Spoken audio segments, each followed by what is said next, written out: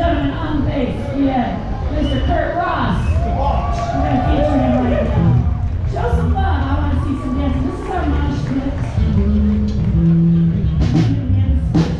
You know, and as you're walking through, I expect you to dance.